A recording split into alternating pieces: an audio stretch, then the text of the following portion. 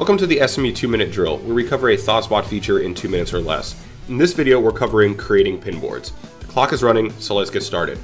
So a pin board is a collection of your searches, your answers, your KPIs, your visualizations that you've created um, in one central location, just like a dashboard.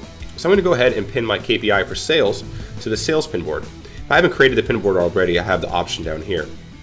Let's break it up by category.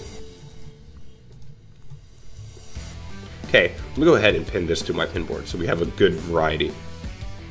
All right, so now that we've done that, let's go check it out. Ahead of time, I pinned a few other different visualizations as well. So from here, I can have the ability to change up where I want to place my KPIs. I also have the ability to resize my visualizations if I need to. So you have a bunch of different size options from here. And with this, I can go ahead and save my changes. But before I do, I want to note that you have the ability to have pinboard insights. So these are going to be SpotIQ insights related to your specific KPIs and visualizations that you've pinned uh, within your pinboard, which is very useful. And finally, if I needed to add a filter, I can go up here to the three dots, select Add Filters. I'll go ahead and do one for department. And now I've got my global filter. So if you'd like to follow along with our two minute drill, you can download this exact data set from our website at the link below.